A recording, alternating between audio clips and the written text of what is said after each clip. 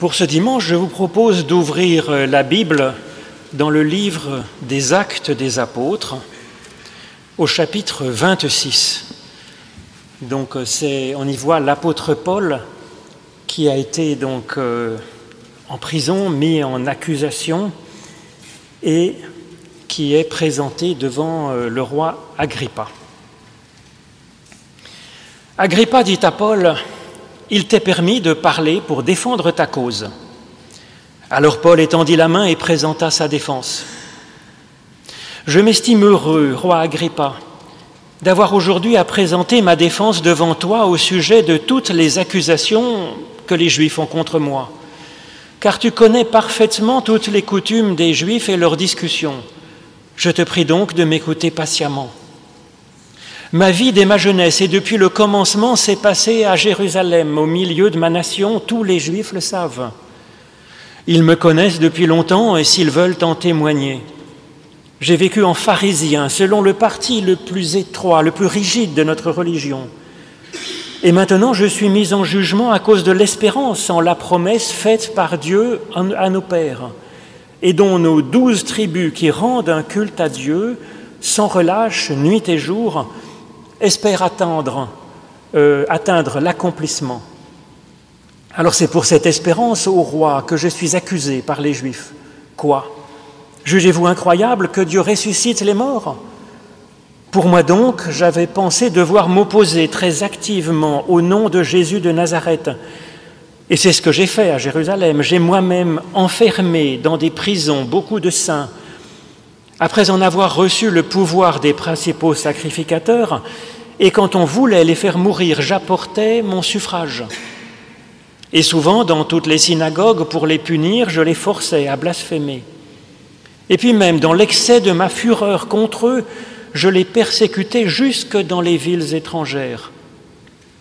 C'est ainsi que je me rendis à Damas avec les pouvoirs et la permission des principaux sacrificateurs. Vers le milieu du jour, ô roi, je vis subitement en chemin briller autour de moi et de mes compagnons une lumière venant du ciel, plus brillante même que le soleil. Nous sommes alors tous tombés à terre, et j'entendis une voix qui me disait en langue hébraïque, Saul, Saul, pourquoi me persécutes-tu? Il est dur pour toi de regimber contre les aiguillons. Je répondis, Mais qui es-tu, Seigneur? Et le Seigneur me dit, moi, je suis Jésus que tu persécutes, mais toi, lève-toi et tiens-toi sur tes pieds, car voici pourquoi je te suis apparu.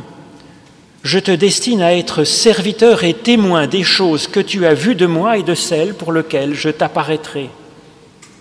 Je t'ai pris au milieu de ce peuple et des païens vers qui je t'envoie, pour leur ouvrir les yeux, afin qu'ils se tournent des ténèbres vers la lumière et du pouvoir de Satan vers Dieu, et qu'ils reçoivent le pardon des péchés et un héritage avec ceux qu'ils sont sanctifiés par la foi en moi. En conséquence, roi Agrippa, je n'ai pas désobéi à la vision céleste, mais aux personnes de Damas d'abord, puis de Jérusalem, puis dans tout le pays de Judée, puis aux païens, j'ai annoncé la repentance et la conversion à Dieu avec la pratique d'œuvres dignes de la repentance. Et voilà pourquoi les Juifs se sont emparés de moi dans le temple et ont tenté de me faire mourir. Mais grâce à la protection de Dieu, j'ai subsisté jusqu'à ce jour et je rends témoignage devant les petits et devant les grands, sans rien dire en dehors de ce que les prophètes et Moïse ont déclaré devoir arriver, c'est-à-dire que le Christ souffrirait et que, ressuscité le premier d'entre les morts, il annoncerait la lumière au peuple et aux païens. Comme il se défendait ainsi, Festus dit à haute voix, Tu es fou, Paul, ta grande érudition te pousse à la folie. Je ne suis pas fou, très excellent Festus, répliqua Paul, ce sont au contraire des paroles de vérité et de bon sens que j'exprime. Le roi est instruit de ces faits et je lui en parle ouvertement car je suis persuadé qu'il n'en ignore rien puisque ce n'est pas en cachette que cela s'est passé. Crois-tu au prophète, roi Agrippa? Oui, je sais que tu y crois. Alors Agrippa dit à Paul, encore un peu et tu vas me persuader, moi aussi, de devenir chrétien. Paul répondit, que ce soit pour un peu ou pour beaucoup, plaise à Dieu que non seulement toi, mais encore tous ceux qui m'écoutent aujourd'hui, vous tous, deveniez tels que je suis, moi, à l'exception quand même de ces chaînes. Ô Éternel, ta parole est une lumière à mes pieds, une lumière sur le sentier de toute ma vie. Et je vous propose de laisser un temps de respiration en chantant le cantique 80 dans le petit recueil Louanges et prières. Tu m'as aimé, Seigneur, avant que la lumière brillât sur l'univers. Donc les trois strophes de ce cantique 80.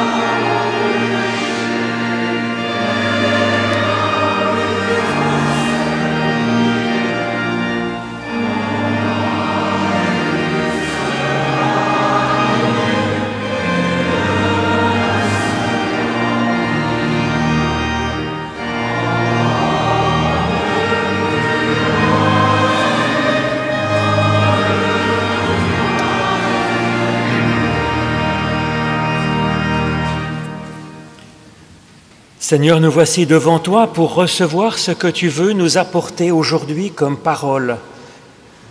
Permets que dans ces témoignages que nous avons entendus, témoignages anciens, nous puissions chacune et chacun découvrir quelque chose qui vient de toi et que tu veux pour nous.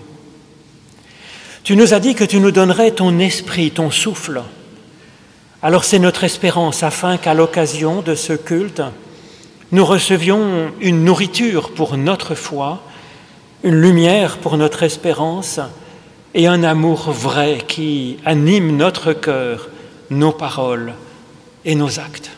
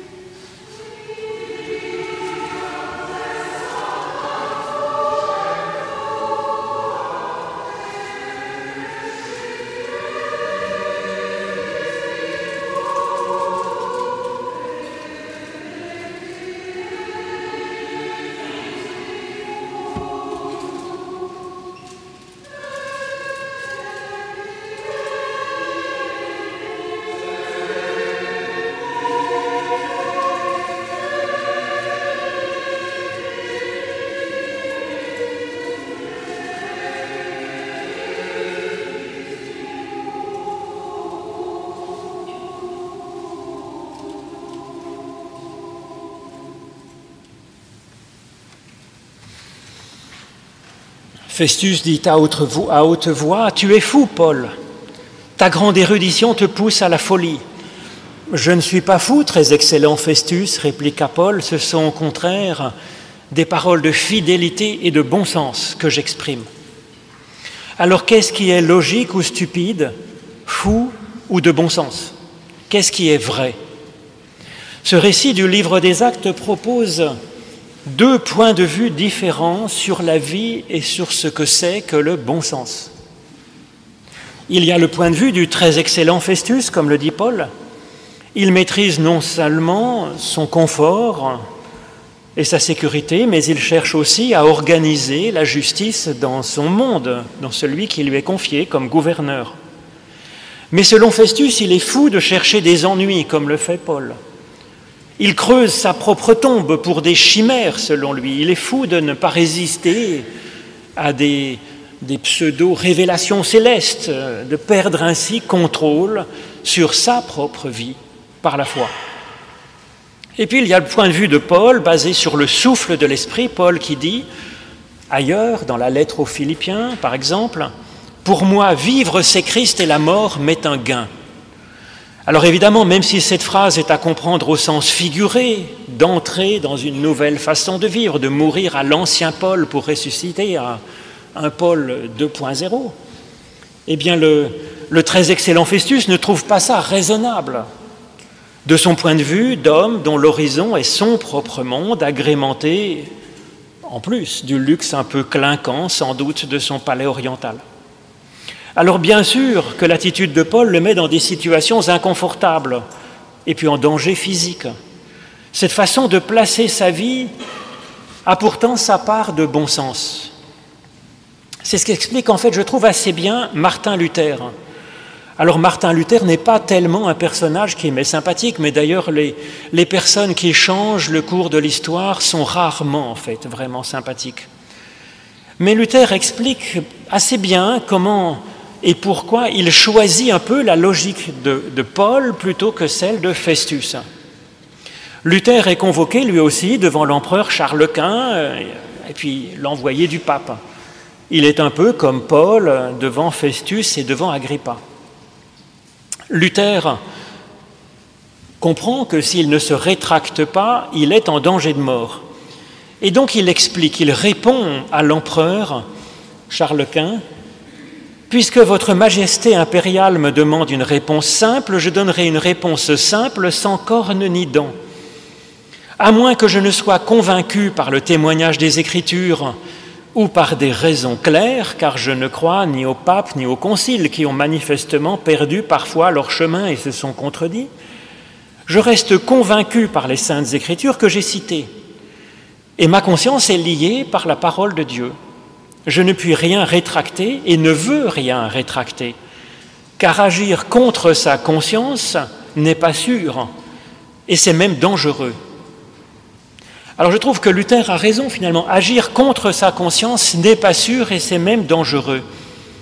Et c'est effectivement quelque chose de profondément raisonnable de vivre dans la sincérité et dans l'authenticité finalement. Et il n'y a même rien de plus raisonnable après s'être peut-être quand même donné un peu les moyens d'éclairer sa propre conscience, de savoir en croire. Mais finalement, donc Festus et Paul représentent deux façons d'être qui sont diamétralement opposées. L'un déclarant fou ce que l'autre conçoit comme étant vrai et de bon sens. Et d'ailleurs, leur situation présente le reflète. Le premier étant haut placé dans les sphères du luxe et du pouvoir, et l'autre, Paul, comparaissant enchaîné devant le premier. Mais c'est comme un paradoxe, car finalement, Paul est en réalité beaucoup plus libre, beaucoup plus vivant, beaucoup plus vivifiant que l'excellent Festus, qui est en fait enfermé volontairement, consciemment finalement, dans sa bulle et dans son propre monde. Dans un sens, Festus incarne le souci que nous avons pour la chair et pour le monde. Et Paul incarne notre élan spirituel. Dans la situation présentée ici, c'est un peu moins caricatural que ça en réalité.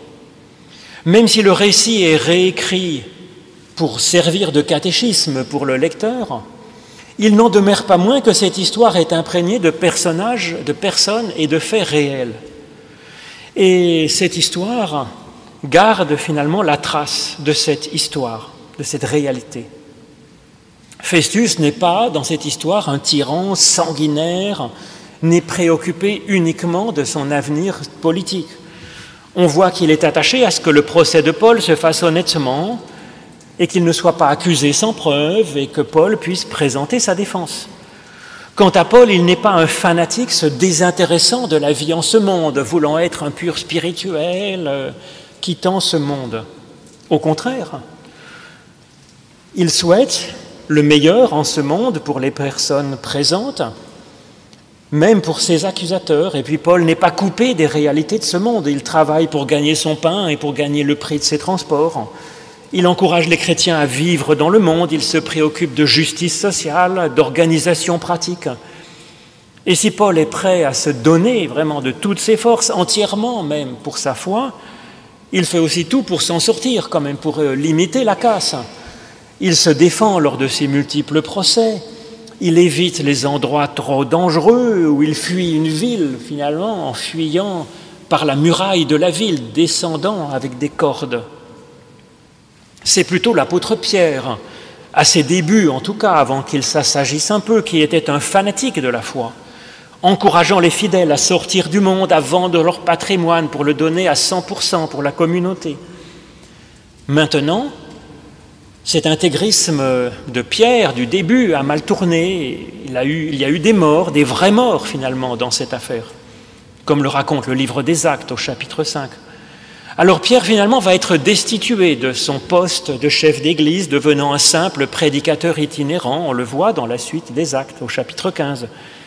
Et puis les personnes de son ancienne communauté vivront finalement, puisqu'elles ont tout vendu, tout donné, tout bouffé, euh, elles vont vivre finalement de collecte, d'entraide que Paul, vous voyez, il est pragmatique, devra faire pour que les saints de Jérusalem ne meurent pas finalement de la famine. Et donc Paul n'est pas coupé du monde, ni coupé de Dieu. Ce qui l'anime, c'est à la fois la vérité et le bon sens. C'est ce qu'il explique à Festus, les deux finalement. La vérité comme une visée ultime, comme quelque chose qui vient de Dieu et qui le soulève, et puis le bon sens comme euh, finalement une façon d'avancer vers et par cette vérité, cette énergie, cette visée. Alors la vérité dans ce contexte, c'est une vérité de relation, une vérité de, recherche, de conscience et de foi. C'est une, sincérité nourrie par, euh, par la voix céleste, par la relation à Dieu. C'est une fidélité à ce qui lui semble, à ce moment-là, l'essentiel dans sa conscience. C'est une fidélité à une personne, Jésus-Christ, une fidélité à, sa, à son expérience, sa propre expérience spirituelle une fidélité à ce qu'il sent comme vrai au fond de lui-même dans cette, cette dimension de son être qui est connecté au divin. Et le bon sens ici dont il est question, c'est littéralement la, la. Contrairement à la notion de vérité-fidélité précédente qui est, tirée de l'Ancien Testament, tirée de la, pensée hébraïque, la sophrociné, c'est plutôt une notion grecque c'est une des quatre vertus cardinales dans la pensée de Platon avec le courage, la justice et la sagesse. Mais Paul ici, il ne garde que la fidélité, donc cette euh, fidélité à Dieu, et la sophrosune, donc la tempérance, le bon sens. C'est comme une, une auto-limitation volontaire, finalement, cette tempérance, ce bon sens. Alors chez les philosophes grecs, cette tempérance, cette sophrosune, elle visait à l'autonomie de la personne. Finalement, dans sa sagesse, la personne, le sage, se contente de ce qu'il a et de ce qu'il peut avoir, et il tend ainsi à une stabilité, une paix, une tranquillité de son être. C'est du bon sens. Mais associé par Paul à la fidélité de Dieu, finalement, la tempérance, le bon sens, la sophrosune, c'est au contraire une ouverture à l'infini. C'est une modestie, certes, une auto-limitation dans un certain sens, mais, mais pour laisser à Dieu sa place comme une source infinie, transcendante, de vie, de mouvement et d'être. Le but n'est alors plus une stabilité, une autosuffisance, une autonomie de la personne, mais au contraire une vie enthousiaste et créative. Le vrai, le solide bon sens, c'est de vivre en ce monde tout en ne rejetant pas la vision céleste, comme le dit l'apôtre Paul. Alors dans cette vertu du bon sens, il y a une modestie, oui, une suspension de son propre jugement dans un certain sens, et c'est, la différence entre le premier, Paul, persécutant les autres par désir de vérité, une vérité de dogme, une vérité de, foi, et puis avec le, nouveau Paul, finalement, il sait qu'il n'est pas Dieu, il sait que Dieu dépasse infiniment sa connaissance sur Dieu, sa sagesse, sa morale, son éthique. C'est une des choses qu'apporte, ou plutôt que, pourrait apporter, que devrait apporter l'expérience mystique, le fait de savoir en vérité et qu'il y a du plus grand que nous, de l'infiniment plus grand que nous, qui s'intéresse à nous. Et puis cela inspire aussi une modestie finalement, et donc il y a à la fois une fidélité et du bon sens. Fondamentalement, l'évangile du Christ, c'est une fidélité, une foi en Dieu en tant que puissance, en tant qu'idéal, en tant que quelque chose d'infini qui nous dépasse. Cet infini ne, ne, se prête à aucun compromis, bien sûr. Sinon, ce n'est plus vers Dieu qu'on est tourné, mais vers une petite image de Dieu, vers une petite morale, vers une petite exégèse des passages qui nous plaisent. Mais l'évangile du Christ est aussi une incarnation de cet infini de Dieu, de cet idéal et de cette puissance. Alors c'est ce qu'on appelle dans le patois théologique la venue du royaume de Dieu, qui est à la fois déjà là, mais en même temps encore attendue et espérée. Cette vérité de Dieu, c'est pas une vérité tranchante qui vient couper, mais c'est comme un ensemencement et un accompagnement des gens tels qu'ils sont de ce monde tel qu'il est. Le bon sens dont parle Paul, c'est cet effort d'incarnation de la parole, si on veut. C'est cette espérance aimante que l'on voit à l'œuvre en Christ. Tout en gardant sa visée ultime, tout en gardant cette euh, irruption de, sa relation à Dieu, de la mystique, le Christ prend les personnes telles qu'elles sont. Il ne leur en veut pas d'être ce qu'elles sont aujourd'hui, simplement il les accompagne, il les exhorte. Il les appelle à une nouveauté de vie. Et c'est ce que fait Paul aussi dans ce passage avec cet appel à la conversion. La sagesse paysanne nous apprend qu'on ne fait pas pousser l'herbe plus vite en tirant dessus, mais on la nourrit, on l'arrose, on la soigne. Et c'est cela finalement le bon sens. Alors même que l'intégriste ne supporterait pas que l'herbe n'ait pas poussé, ou peut-être que Festus refuserait l'ensemencement finalement par la graine de la jetée par la transcendance de Dieu dans le monde. Nous avons donc ici un Festus, un homme vivant dans le monde et gérant le monde avec des valeurs de justice, de sagesse, oui. Premier modèle, première logique, première façon d'incarner le bon sens, la sophrosune, celle de l'humain seul, nous avons ensuite Paul, à la fois ardente, mais aussi pragmatique, selon modèle de logique, celle où le bon sens est associé à la foi. Festus est un homme confortable et tranquille, organisé et juste. Il construit sans doute des routes et des ponts, des aqueducs pour alimenter les thermes, les douches municipales, des temples et des places, des arènes et des palais. Il arbitre et il rend justice au mieux. Il a donc certainement une morale, une idée de la justice, un sens de la décision. Il n'est apparemment pas du genre à tordre le droit pour, euh, pour des petites compromissions, pour faire avancer ses projets. Il croit sans doute à la vie après la mort. Il a aussi probablement, forcément, de la religion. Il est donc un très excellent Festus, comme le dit Paul mais il y a quelque chose que Festus ne comprend pas. Une logique qui excède sa logique. Quand Paul lui parle de la voie céleste, quand il lui parle d'un surgissement de vie nouvelle, cette dimension scandalise Festus. Tu es fou, Paul. Ta grande érudition, c'est cela qui te pousse à la folie. Festus semble ne pas dire ça méchamment, en fait. Mais il le dit comme on avertit un ami qu'il est en train de partir dans les choux. En réalité, ce cri de Festus révèle qu'au fond de lui-même, il sait qu'il y a quelque chose qu'il ne veut pas s'avouer. D'où lui vient cette idée, à Festus, que c'est une trop grande érudition qui pourrait pousser Paul à cette folie? Un, un, homme au sens pratique comme Festus, au sens moral comme ce très excellent Festus, ne parle pas à la légère. Et quand il dit que c'est le savoir même, quand il dit que c'est la réflexion, que c'est l'intelligence qui peut poser un problème, il les, place, il les marque comme euh, dangereux finalement. Le savoir, la réflexion, l'intelligence. Et dans ce cri de Festus, il y a comme un aveu de sa propre peur, à savoir quelque chose qu'il pressent.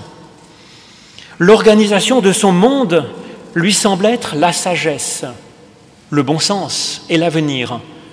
C'est du tangible. Et il s'y cramponne un peu comme un enfant se cramponne à son doudou. Vous savez, cet objet rassure l'enfant presque mieux que la présence de sa maman, parce qu'il arrive que sa maman ait un agenda imprévisible. Mais le doudou, lui, reste à la portée de la main, de ma bouche et de mon nez. Mais le doudou est-il réel, en fait? Ben oui, en tant que matière. Mais non, le doudou ne nous aime pas vraiment, en fait. Et c'est un secret pour personne. Le doudou ne réagit pas à ce que nous devenons, il ne nous propose rien.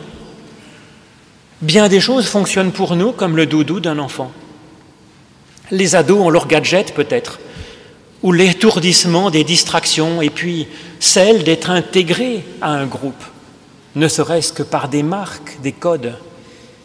L'adulte, lui aussi, a ses doudous auxquels il se cramponne et qu'il puisse qu'il puisse bien les étreindre, ces doudous, les avoir bien en main, là, tangibles.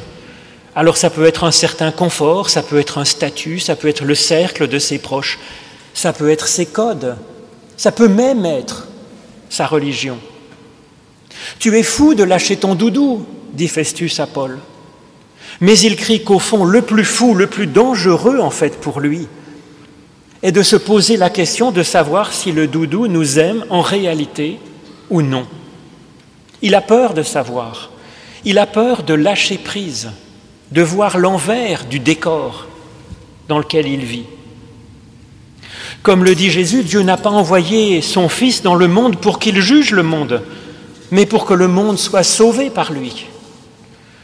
Et le jugement, ajoute Jésus, c'est que la lumière étant venue dans le monde, les hommes ont préféré les ténèbres à la lumière, car quiconque fait le mal déteste la lumière et ne vient pas à la lumière de peur que ses œuvres ne soient dévoilées. Et donc oui, quelque part, Festus perçoit que son bon sens, son monde, n'est pas le tout de la réalité, et que basant tout là-dessus, il rate en fait l'essentiel, un essentiel qu'il pressent mais qu'il ne connaît pas. Et pourtant, Paul l'appelle très excellent Festus. Et je ne pense pas que ce soit de la flatterie. Il est très excellent, notre Festus, mais, comme une bonne terre qui gagnerait tant à être ensemencée, qui serait géniale si elle était ensemencée, si elle acceptait de l'être. Le bon sens de Festus, c'est la modestie d'en rester à son monde. Son bon sens gagnerait à devenir la modestie de laisser place au souffle du Dieu vivant. Alors pour aider Festus ainsi que les autres qui sont présents, Paul interpelle le roi Agrippa. Crois-tu au prophète? Le roi Agrippa, oui, je sais que tu y crois. Les prophètes apportent une connaissance, un grand savoir sur la vie, et en particulier cette conviction profonde transmise par chaque page de la Bible, à peu de choses près, que l'homme sans Dieu est comme un arbre coupé de ses racines, comme un homme privé de sa respiration, de son souffle. Alors bien entendu, il y a là aussi dans cette méditation de la Bible, dans le savoir, une hubris possible. La tentation de transformer ce savoir, là encore, en un doudou auquel on se cramponne, forgeant des dogmes, comme le premier Paul, persécutant les autres, ceux qui sortent du rang, ou bien comme ces savants qu'Agrippa fréquente et qui adorent les textes bibliques, qui les adorent peut-être même encore plus, peut-être leur propre discussion sur les textes de la Bible. Parce que tout cela constitue, peut constituer un monde, un monde stable et rassurant, se gardant bien d'accepter que les promesses des prophètes, elles sont exprimées au futur, afin que les lecteurs les reçoivent au présent, ces promesses, au présent de leur propre existence, pour se laisser, aujourd'hui et maintenant, toucher par Dieu, non pas les prophètes d'un temps ancien, non pas la fin du temps avec le retour du Christ ou je ne sais quoi, mais aujourd'hui et maintenant vivre cette irruption du royaume en fait. Alors il s'en, faut de peu qu'Agrippa ne se convertisse et en fait non. Il va rester sur la même rive que l'excellent Festus. Et finalement, sur la rive du bon sens, fermé à l'irruption du souffle de Dieu, à l'irruption de quelque chose que nous ne maîtrisons pas. Festus dans le monde de sa paix romaine et de la sagesse grecque, Agrippa dans le monde des discussions bibliques passionnantes et justes, mais l'un et l'autre craignant de faire place au souffle de Dieu, craignant le vertige de la résurrection. L'un et l'autre, ils craignent de ne plus être Dieu dans leur petit monde. Et en reprenant les vœux de l'apôtre Paul à la fin de son procès, que ce soit pour un peu ou que ce soit pour beaucoup, il plairait tant à Dieu que non seulement toi, mais encore tous ceux qui sont autour de toi puissent vivre de ce bon sens qu'est la fidélité à Dieu. Amen.